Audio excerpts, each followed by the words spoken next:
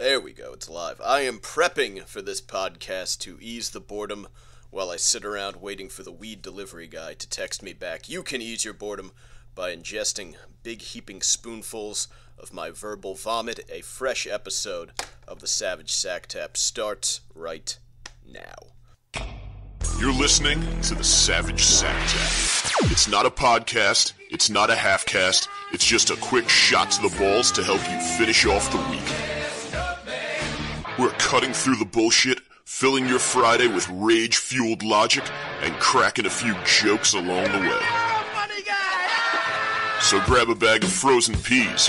There's a Savage Sack Tap coming your way. Smooth, lascivious, salacious, outrageous. Um, yeah, hey, hey there, podcast world. It's yours truly. I love the way OJ starts his fucking Twitter videos. I am Mike Montone. This is the Savage Sack Tap. Uh, it's uh, Sunday morning. We're doing this. If you're watching this on the uh, the live stream, I prepped for this the other day. It was like Thursday, I think, and I was supposed to do it yesterday, but we did Mother's Day on Saturday, so I'm doing podcast and live stream on Sunday. There, there you go. Um, and holy shit, do I hate the fucking ice cream man. Um, and I don't mean all ice cream men, uh, because ice cream fucking rules. Um, and of course, as a, a, fan of the patriarchy, you know, men wear the shit, so you combine the two, we should be doing fantastic. But the ice cream man in my fucking neighborhood drives me absolutely insane. Um, this asshole doesn't turn his music off, and he parks in one spot and just plays it on repeat for like hours at a time. So there's no there's no break. I don't know. I don't. Fuck. I have no idea how he survives in that truck while he's listening to this shit on repeat because it's um. It's not even fucking music. It's that like you know that music. I don't know if the is the right word. It's like that fucking carnival music. It's just fucking awful. Um, and I, you have to be an absolute psychopath to do this, uh, let alone on a 60 degree day in April. I don't know who the fuck is buying ice cream.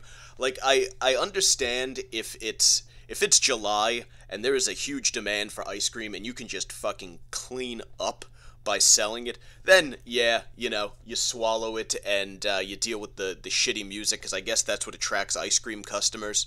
There's got to be a better fucking way. Um, but it's a 60 degree day in April, and I'm trying to take a nap with the window open, you know, nice cool breeze, just relax, enjoy the afternoon. And the silence is shattered by this cocksucker blasting this fucking music so he can sell. What, what are you selling? You're selling, what, two fucking snow cones on a day like that? No one's buying ice cream on a fucking 60 degree day in April. It's just not happening. Like, I'm not a violent guy, so I don't actually want to see an innocent man harmed, but I'm just I'm just kind of spitballing here. If it did turn out that the ice cream man was a pedophile, and again, I would feel awful, awful for the kid who had to get molested for this to happen. But if the ice cream man turned out to be a pedophile and it got out that he was molesting neighborhood kids after selling them screwballs, and you know a couple of uh, like goombas in bowling shirts, like fucking Christopher and Paulie, came and just took out Mister. He silenced Mister Softee for good. Like I could, I could see, I could see Paulie getting fucking infuriated, trying to trying to like tan outside of Satriale's with that big tinfoil thing on, and down the block there's just an ice cream man that won't shut the fuck up. So he goes to confront him, and he walks away all pissed off, and then he finds out that the ice cream man is maybe molesting kids, and he jumps the gun and executes him in like plain sight in front of a bunch of other people, and then it turns out that it was a, a different Mr. Softee molesting kids, and now Tony's got to deal with it because the Mr. Softee that Paulie killed happened to have ties to like some sort of like Jewish crime family or something. I could totally see that being a Sopranos plotline. Uh, the point is, I hate the fucking ice cream. I, I, just can't stand this cocksucker. And by the way, I realize if you're watching on the uh, the live stream, I, I realize it's, it looks incredibly dark. Uh, the good news, one, I got a video camera, so I actually be able to create some reasonably clear video content here. And uh, a new lighting rig has been ordered and uh, will be arriving imminently. So no more of this creepy, weird fucking dark shit going on here. Um, yeah, I'm I'm looking at the uh, the the phone right now, the uh, the live stream, and it looks absolutely abhorrent. I probably shouldn't even be doing it on live stream. It, this can only hurt the brand. Um, anyway, uh, the park where this guy usually sets up shop is currently shut down because of coronavirus. He still parks right outside of it, so I still have to deal with this bullshit music while I'm trying to take a fucking nap. Uh, or, or sit on a, a bench on the sidewalk and read a book, but you, you can't do that because this cocksucker's blasting his god awful carny music. Um, but despite every other town opening up their parks as we, uh, I guess, flatten the curve or whatever the fuck we have going on, Union City has decided to stay closed. Um, and you're going to hear me use the word cocksuckers a lot today. These cocksuckers install pull up bars, a, uh, a dip uh, apparatus. I don't know if you could like the parallel dip bars, and all sorts of other grown up workout shit. Finally, at a park in my neighborhood. I can stop, you know, I can stop looking for, you know, abandoned scaffolding to do pull-ups on. It's, it's going to be great. I can go, I can bring a, a dip belt out and do weighted chins. So excited to see this thing finish. A month ago, they finished installing it. The day they finish installing it, they shut the park down. So it's apparently uh, essential to use the resources of the Union, uh, the uh, the Hudson County Sheriff's Department to guard the pull-up bars. God forbid anyone do some chin-ups during COVID-19. These fucking cocks. It's the nicest month of the year. This park is perfectly located at the top of the hill where I do my sprints. I realize this isn't even entertaining. Probably no one gives a fuck about where you work out, Mike. You fucking ass. Talk about something interesting, dickhead. Uh, but this is what's going on now. Like I can't go to the gym. I gotta, fu- well, I gotta work out. I'm a fucking meathead. If you're looking at me the live stream, you can see I'm starting to look like fucking uh, emaciated, like I'm like a fucking uh, Somali pirate. My fucking ribs are poking out like one of those kids in the uh, was it Sally Struthers used to do the uh, the fucking starving kids in uh, Nigeria. Whatever. The point is, I want to be a meathead and work out in this beautiful fucking park, and there's just teasing teasing me with it being fucking closed. Anyway, the one saving grace, as I have said throughout social distancing, is that hot chicks have nothing better to do but just kind of walk around and uh, what has been in I've started I started noticing them maybe uh, I would say last uh, last year are these high waisted yoga pants. Um, and I mean yoga pants in general are fucking awesome but these high waisted ones I don't know what it is about them. I don't know if it's squ- it cinches the like the waist in more and it, it accentuates the uh, the curve, but these things hug ass cheek and box like no other. Like it just displays everything perfectly. Like I um I think uh, it was last week I was talking about how like there's that like shot of John Hamm walking down the street um, where the wind hit his pants and literally you just see the outline of his huge fucking floppy fucking rod uh, and chicks were, were getting all jazzed up about that. This is this is like our version of that when we see high waisted yoga pants. Just perfect display. You show me like an Italian or an Hispanic chick with uh, with like a big fat ass and tattoos and a midriff shirt on and some high high waisted yoga pants is just absolute absolute boner city. You'll love you'll love to see it. Um, I really really think people are going to come out of this thing just thirsty as fuck. Um, and I know, again, another that is another talking point that I have been harping on throughout um, coronavirus. But it's all people are doing is sitting around scrolling through their phones. Instagram is just full of fucking thirst traps. People are going, eh, people are going to get out, and, and they just want to fucking. I feel like a lot of a lot of guts are gonna get smashed. A lot of a lot of relationships will fall apart as a result of uh, people being stranded inside uh, together for a few months and not having any kind of real social life or excitement. So I feel like it's going to be it's it, you know when um, you come back from uh, summer vacation and it's like those first few weeks on campus and you're back to college life and you're just like, oh yeah, I remember this is fucking awesome. And people are just hauling off, going nuts. Like, I forget my freshman year, I think we had like a dozen people go to the fucking hospital our first weekend. Like, you just, you just go fucking crazy. I feel like it's going to be a, a grown up version of that. Like, say, some chick's been locked down for for fucking 90 days with a boyfriend who just is just giving like this weak,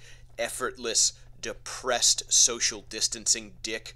Um, and she's just going to want to break out and get the Viagra rod. She's been listening to podcasts. She keeps hearing those the advertisements for for every fuck for Hims and Roman and fucking Blue Chew and uh, just yeah, just ready to catch that pipe. I was having a, a conversation with a, a female friend recently, and she was talking about uh, a guy who banged her with like a three quarter. They they wound up, I think, not even actually banging because he could only. Uh, the expression is uh, that guys like to use for this is shooting shooting pool with a shoelace. Um, and it's basically or pushing rope as they say you're trying to get you have the the penis is elongated because in your mind you're like yeah i want to have some sex but there's just something physiologically preventing it from reaching uh, full stiffness, so it can't break the vaginal plane.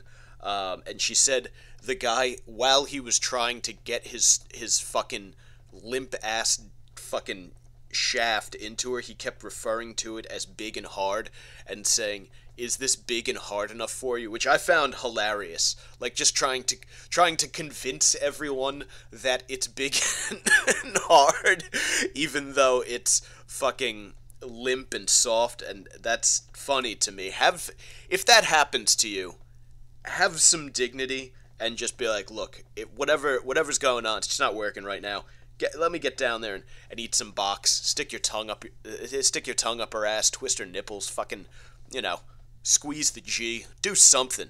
Don't don't pretend that your your fucking three quarter mast struggling bone is big and hard. That is one of the funniest acts of denial I think I've ever heard. Or the other option like I said, if you listen to fucking podcasts, and this is most certainly not an advertisement, but there's Blue Chew, there's Roman, there, there's Hims, there's Blink. Um, I mean, there is just every fucking product out there on the market to to make your penis work like you're an adult film star. I just don't like twenty bucks a month. You can get all the shit that you need. Uh, you take some with uh, a little. You get some Yohimbe at GNC, and you take a Blue Chew for the next 72 hours you will be walking around like a fucking porn star. And I should pref I should I should at this point say I'm not a doctor, so you can't take that as medical advice, but I will say from personal experience, I have found that combination to lead to the slinging of a mean fucking hog. Um, I first, I'm not, I, like, I have no problem admitting that uh, I was talking to uh, the the male porn stars at the Exxxotica convention, and they're like, "Yeah, we all, uh, everyone's taking this shit. Like, you either are or you're not in the fucking biz." Uh, I first got got hold of one in uh, in college. One of my friends was using some uh, some anabolic substances that affected his his wee wee, as it were, and he hooked me up with this shit that he had ordered from like China. They were like these little tiny fuck it. They looked like Dippin' Dots um, and uh, he just gave me like he had they were like folded up in a uh, a napkin. There were like a, a, dozen of them. I remember like they fell out, and I had to like scoop them up off the uh, the cafeteria floor.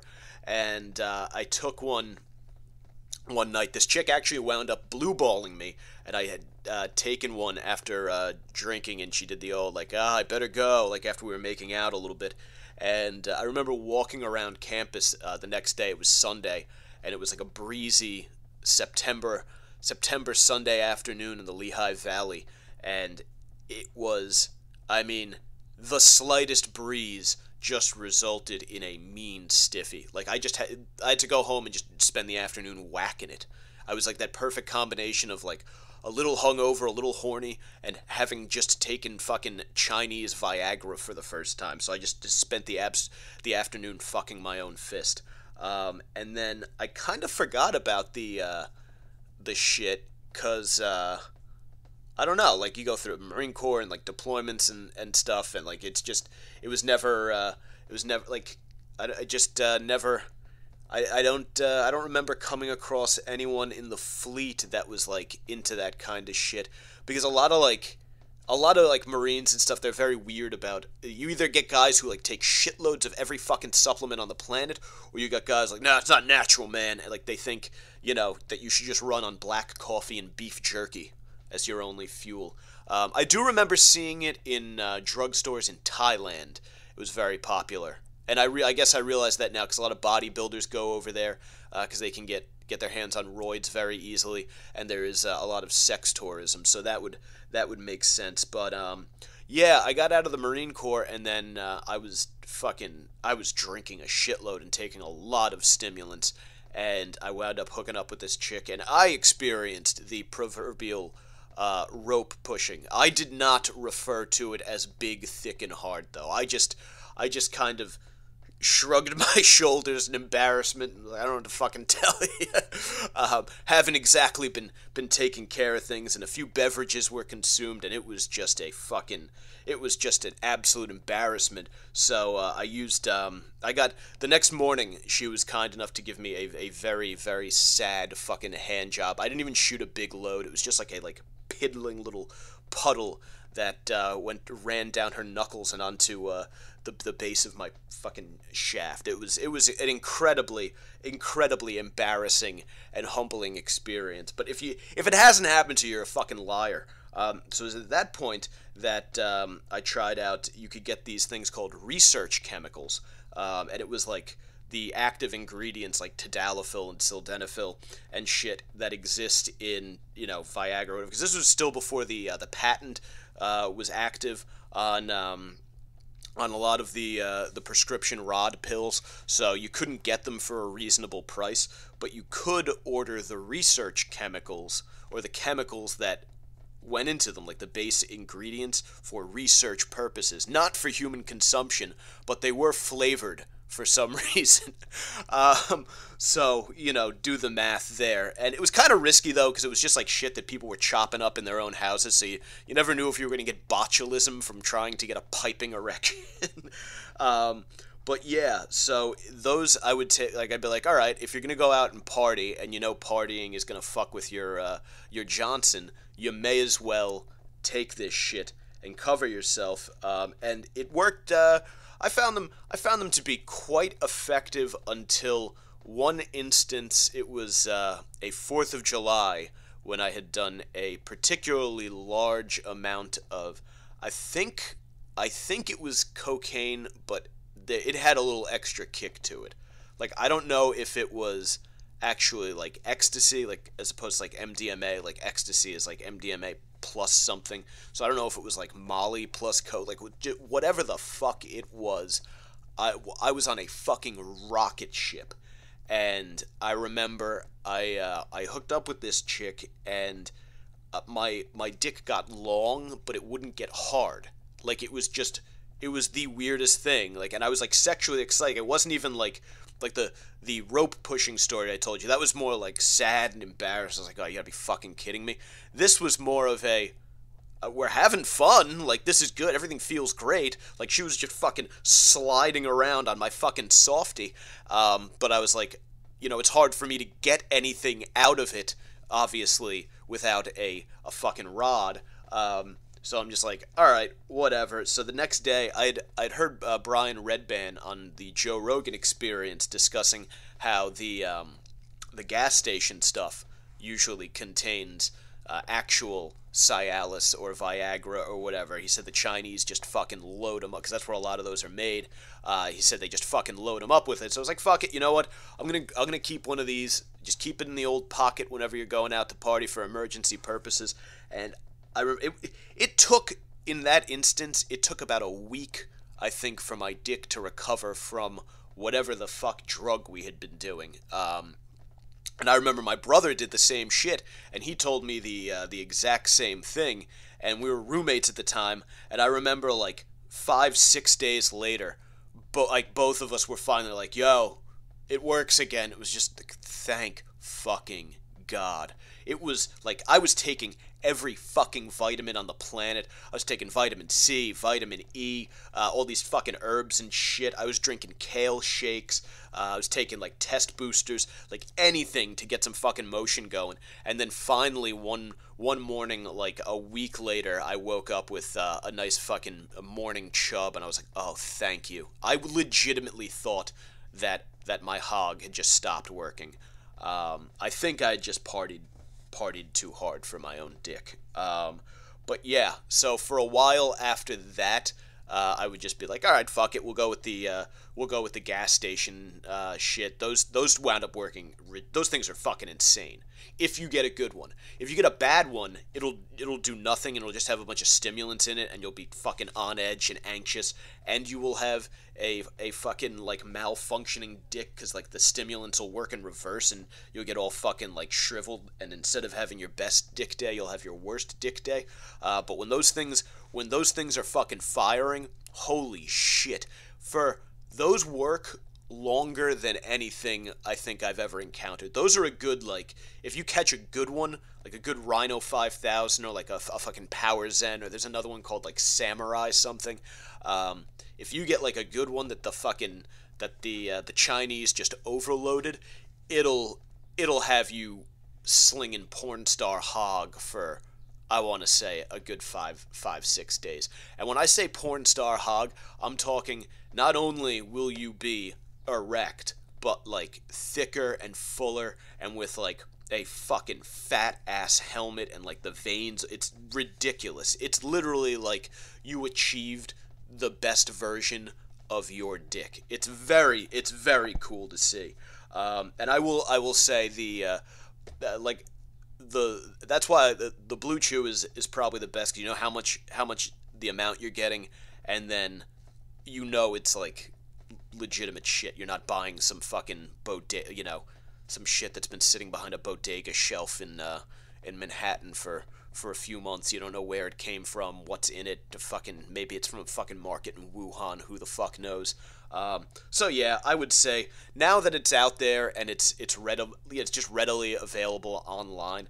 Just do yourself do yourself a favor. You get it. You keep one keep one in the wallet. Um, and it was oh fucking need one. Like you're full of shit. Like if you the, the the the kind of hog that you can sling from from these things, it's it's like you got a, a, a magic wang.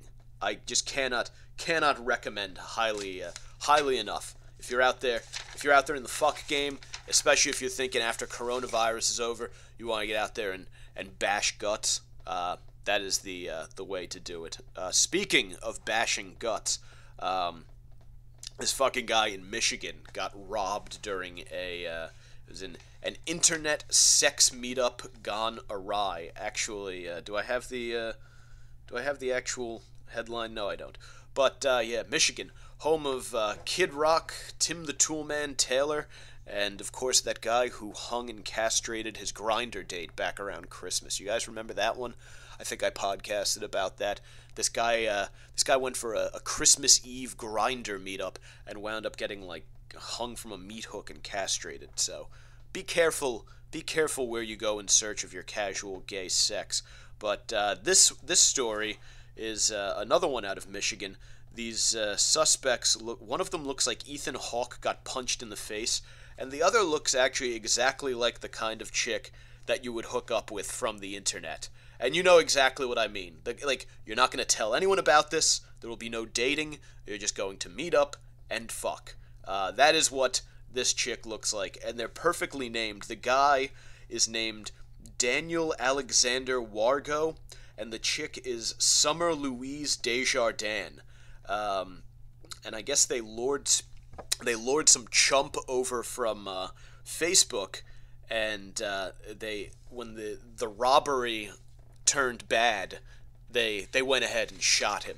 Um, I if I if I have to guess, looking at these two, it was uh, it was a methamphetamine robbery.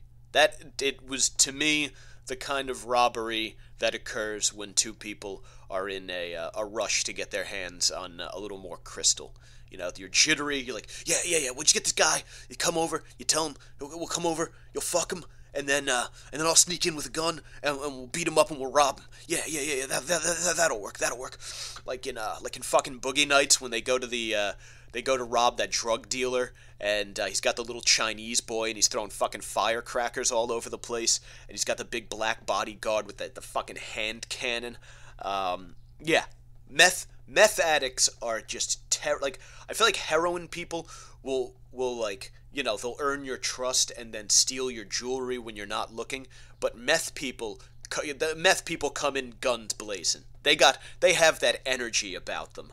Um, but yeah anyway the uh, the victim is in stable condition so i felt okay podcasting about this and i bring this story up not because it's that compelling of a story but because i saw it and i thought to myself yeah the the hunt for pussy will make dudes do wild shit. Um, I know uh, the sh- on the show that I work on, we we spend a lot of time talking about the show 90 Day Fiance. Um, so if there are any crossover listeners here, you're gonna hear some stuff that you've already um, heard. But this fucking guy David from Las Vegas has poured a hundred thousand dollars into what he believes to be a relationship with a woman named Lana from the Ukraine. And he's tried to meet her like four times, and she never shows up because she doesn't exist.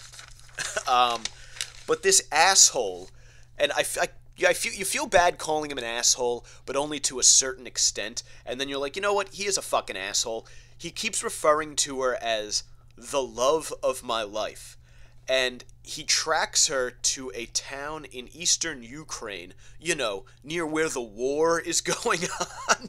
like there's like a very savage, vicious war going on over there. And I don't know if you know about how war goes on in that part of the world, but sometimes it results in people getting their heads chopped off uh, for suspicion of spying.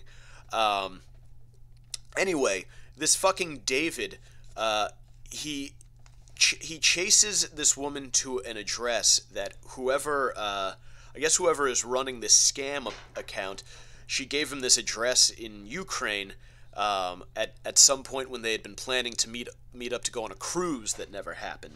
Um, so she she goes to this town and she's like, "Yeah, I'll meet you at a cafe." And this this idiot is there. Uh, he's ordered uh, a bottle of champagne and two glasses. He's got roses sitting on the table. You know, he shows up 15 minutes early, so he's, he's there on time. Uh, he gets so nervous from sweat that he has to go into the bathroom, wash himself down, put on deodorant, and change shirts.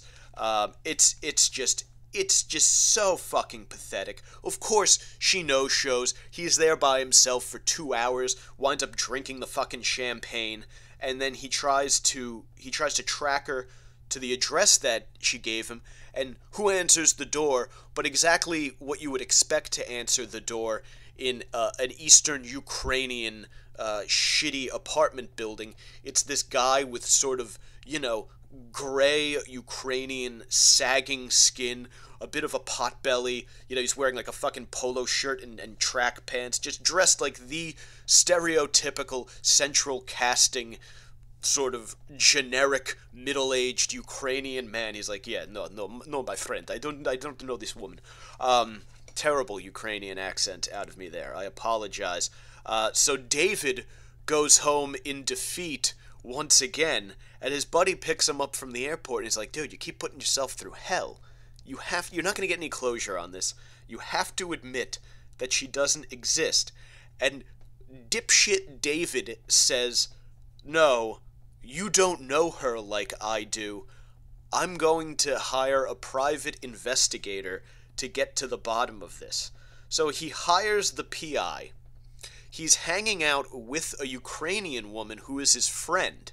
He has a friend who is a woman from Ukraine who is telling him that this is a scam that happens to dumb Americans all the time. He tells her, You don't know Lana like I know Lana.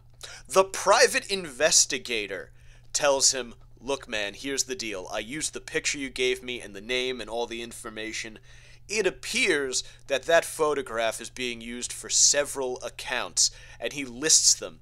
And this douche, this dumbass, says, "Oh, it must be because someone stole Lana's picture."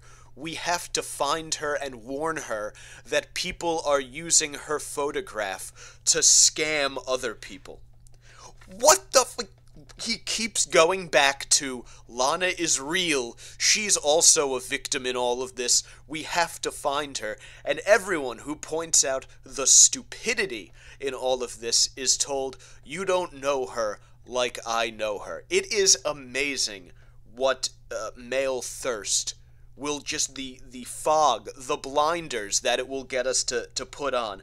And the best part about all of this is that he lives in Las Vegas. If you want to go and fuck a Ukrainian chick in Las Vegas, it's probably not very hard. Like, you probably literally just go walk around the strip and in and out of casinos and nightclubs until you hear the voice of a, a young, uh, you know, slightly buzzed Ukrainian chick on her first trip to Las Vegas. And chances are, if you have any social skills whatsoever, she's going to engage in some sort of consenting sex act with you because that's what people do when they vacation in Las Vegas. Especially if you have a $100,000 to throw around in pursuit of said Ukrainian pussy. Um, it just really, I mean, it's amazing. Seven years he spent chasing this ch- a ghost Seven years and a hundred thousand dollars. Do you realize if you put uh, what you could do with a hundred thousand dollars if you if you earned compound interest on that inside of like a uh, like a Roth IRA or a 401k?